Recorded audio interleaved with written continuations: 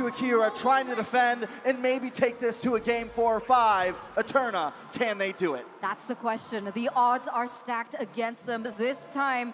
And even looking at the drafts, Blacklist have drafted themselves in a way that they are so sustainable, right? They have the AoE healing coming in from Oh My Venus, as well as, wait a second here, Sagan gonna get caught really low. And this is scary, right? Because we need the Xavier to be able to scale with the Clock of Destiny and the Lightning Truncheon as well. And if that doesn't happen, I'm doubting if RRQ Akira have enough damage to penetrate through the healing coming in from Oh My Venus, as well as that extra HP from the Faramis. Yeah, already Blacklist being very aggressive. And it's almost surprising because you see the Estes and you expect there not to be too much, but they're just so good. They have so much faith in Oh My Venus that they're willing to just push forward and get as much damage in that mid lane as possible. Now, Edward and Takashi also having this faded anime battle as Naisu predicted. Definitely very entertaining, but possible action up in the top side. Naisu, how do you feel about that matchup? Well, overall, I mean, it's really, I don't expect anyone to go down before that first turtle anyway, but uh, I mean, we didn't even get a chance to talk about the Baxia pick, right, that much, because King rolling with this option here. Rolling. Literally, pun intended. Uh, the thing is, is we haven't seen Baxia too much, but it's still a great utility tank jungler here. But already, you know, Luis doesn't have that Way the Dragon, but should be able to get out just fine. And that's the thing, right? It's Wise that is going to be playing that Valentina like we saw here. And now you have that option, that dynamic. What ultimates do we take? How do we use it? Turtle coming up here in just a couple seconds. Let's see how this all plays out here. We'll see exactly how this pans out. Remember, RQ Brazil, they need Sagan to get that level 4, which he hasn't, but Takashi here already. Oh, they're going to crash down on Wise. They already get the Cult Altar out here, but it's a first blood for Takashi. Able to secure himself, the first one. Now Edward going to be the focus, has to get back to the turret. And this could be the first turtle going in the hands of RRQ Akira. Oh my Venus there, trying to get some vision available, but look oh. at the oh. first! Takashi comes in, able to grab another. A very, very nice start for RQ Brazil. I was a little bit worried, but it seems like they have come online at 2 minutes and 40 seconds. If they can hold this together, then maybe they could take this to a possible win. But remember, they started last game strong. Now, with some of these items, how are you feeling about it, Eterna? Nothing just too fancy just yet. We're not at that point where anyone has built that first item, but you can see that the Baxia is going to have a huge impact in that early game, right? He's going towards a lot of items that are going to be able to make him more sustainable in his team fights. But talking about team fights, Luis oh. goes in. Luis able to take down Oh My Venus, and now they're going to be focusing on Hadji here. He's trying to get out, had to use that Purify as well. Purifies out of it and lives to fight another day. So right there with the Baxia, we're starting to see with that uh, Tortoise Poisons, with that ultimate. I love the name Tongue of that twister. ultimate, by the way. um, it's, it's a way to kind of counter the Estes because of that constant DPS damage over time without relying on the CC that they try to do in game one. So once again, RQ Brazil finding answers elsewhere on the map. Another big difference now with this game and last game is they had a bit of a lead in aggression early on, but they didn't have much of a gold lead. This time, Brazil not only leading in kills and map control, but also holding a decent gold lead in the game. Another thing about the Baxia is that he's so mobile, right? He can go on every point of the map really quickly, and that's why we're seeing that they're leading in that rotation. And right now you can see even him, he's trying to penetrate into the jungle of Blacklist, trying to pressure out Wise here, who is kind of falling far behind here. Wise still level 6 as compared to King, who is level 7. I mean, he's doing a great job, right? King uh, knows the lead that he has, knows the mobility advantage that he has as well, and he's playing around that. That's exactly what RRQ Akira needs to do here. This is the refined version, or at least playstyle that they went with, and that they're executing really well. Could it convert into another objective take for them, but you can already see Blacklist International trying to get in position here for this second turtle of the game. And now it's going to be pulled out. Still, there's King. I was waiting for him to roll up here finds Hadji, forces him back. Takashi quite low. Bravest fighter in. Luis, though, with the way of the dragon. Oh my Venus has to pop the heal. Able to survive a little bit longer, but it's going to be the turtle secured for Gusta Lagusta in the mid lane. Still going at it, looking for Hadji. Oh. Sagan falls, but he gets punished as well. Two down for Blacklist International. That is a good, good trade, though I mean, two for one, plus the turtle in the hands of Brazil here. I think they were listening to Eterna because they have been focusing hard on Venus. In literally the first few minutes, two kills on a Venus. This is going to slow him down so much. And Blacklist, for the first time in three games, fallen behind.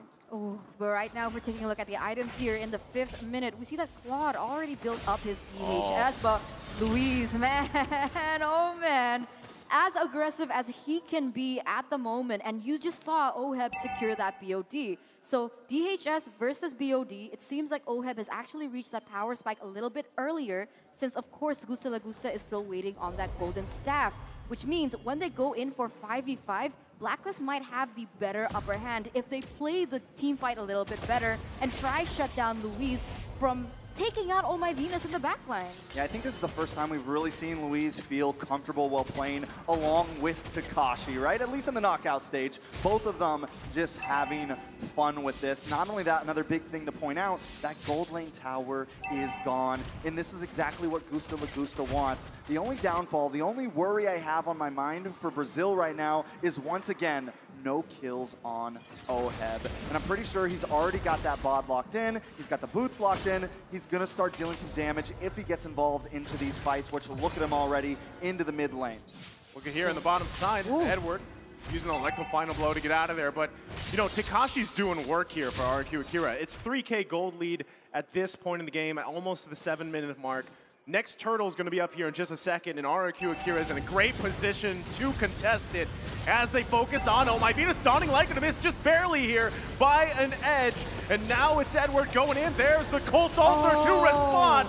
The kick comes out. Nobody going down just yet. RRQ Akira running. It's Sagan that falls under the turret. Oh man, with one member down, now Blacklist, they're gonna have the upper hand when it comes down to this neutral objective take. They're gonna get that turtle for free, and they're gonna be able to push the limits a bit more. RQ Brazil, though, they're still leading, but look at how aggressive they start to go in that top side. Gusta Lagusta forced to retreat as of right now, as in the bottom side. Wow, Takashi and Edward still going out here on the bottom side, holding on to that turret, half health here. The enemy battle continues. Takashi looking to get in position, just going to focus on the turret. Can't get it though as the last minion goes down there, so still a back and forth. But Black International lessening the gold lead from RQ Akira. Yeah, it all it took was a second, and this is what Blacklist is known for, the rubber band right around that mid-game power spike. Now it seems like the sustainability is coming in check. I mean, you have the Estes, plus you have the Faramis, and as we saw earlier, RQ Brazil brought out all the guns. They brought out everything they could in that mid lane skirmish and just didn't put a dent into Blacklist. I'm wondering if it has anything to do with these items. I mean, to be honest, RQ Brazil, they really need this Claude to start popping off because if we take a look at that gold gap, it's quite evident, right? He is trying to get that cross corrosion scythe with the Swift crossbow, but I'm wondering if it's going to pop up fast enough and if the damage is going to be enough because once again, I'm still doubting. I mean, I'm still very concerned of how sustainable Blacklist is going to be, especially now that we see that RQ Brazil, they haven't had any chance to pick up an anti-regen item. I mean, but Brazil is still being proactive on the map right now, still being aggressive. They've taken another tower in the gold side, and Blacklist, on the other hand, has only taken one from Brazil. Now, Turtle is going to be, no, Lord will be up in just very soon. So if Brazil can possibly secure this next major huge objective, it could help some secure this mid-game, but it's definitely not going to be easy. The gold has led up a little bit in the hands of Brazil. Now, I'm feeling good about it. I'm hoping Brazil can bring us to another game, but it's definitely not going to be easy. Yeah, I mean, they're in a good position here, and that's why they're going to go ahead and start up the Lord Dance. Wise holding on to that Way of the Dragon here I don't think anyone's going to commit just yet here, but on the bottom side, it looks like Oheb was oh. going to be the oh. focus, but already, look at that. The damage is there. Gusta Lagusta going to have to go back here. And still, it's a little bit of a dicey situation for RQ Akira. And at this point, they have been putting pressure around the map, opening it up for themselves, but I don't think they're still in a comfortable, comfortable position to actually fight this Lord just off the bat. They've got to still handle the sustain coming out. Yes, you have the Baxia, you have the passive for you, but it's going to be up to Luis here as he goes in with a conceal, looking for the bottom side. Can't get Hadji, though. They are chunked quite low. Cult Altar still gonna be hold on. It's committed now. Oh my Oh. Venus getting slammed down. Takashi goes in for another kill here. They're gonna back off. They have the numbers advantage. Edward taking out Luis though. Hadji still up as well. RQ, RQ Akira. Do they press the situation? It's a one for one trade here.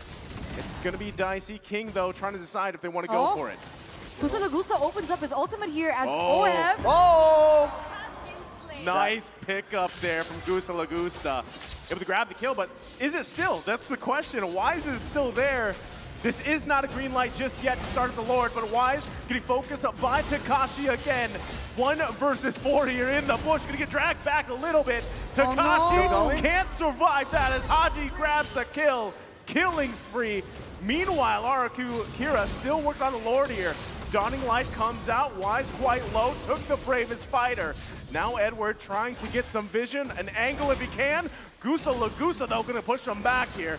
Still the fight Okay. for the Lord. Edward goes down. Cult Altar comes out. It's Wise. Wise with the Lord again. How does he do it? With RRQ Akira gonna push them back. Everybody quiet. Oh. oh low. Sagan with a huge Mystic Field. I mean, win or lose here.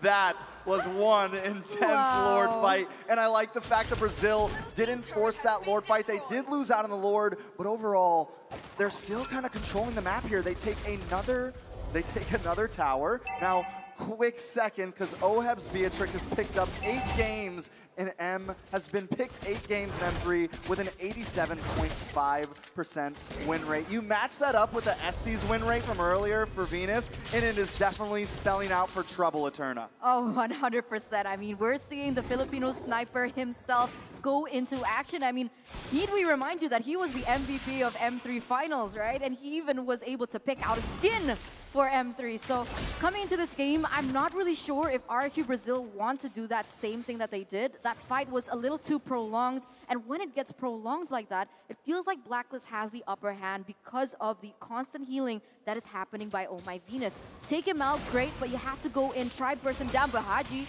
he goes Wow. into the front line, deals a little bit of damage, but this is all allowing Blacklist to push that tempo as well as to zone away the members of RQ Brazil. Well, they're still going to be working on this tier here. They might just be able to get it cleanly as they do.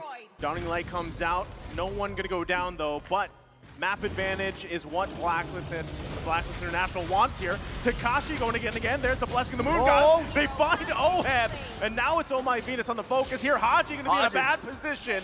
Dawning Light comes out. It's another that falls. Luis with a massive way of the dragon, finding Wise, and it's Edward in trouble now.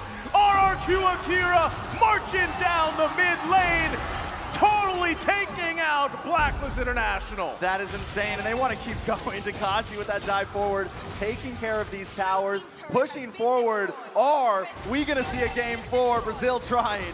Brazil gonna push in. Hadji holding on for dear life here. They've got the minion waves. It's only a couple seconds, and RRQ Akira is gonna do it. They extend the series as they take game number three. Akira coming back, rising from the ashes, and proving that the L is not for lose, but it is for learn.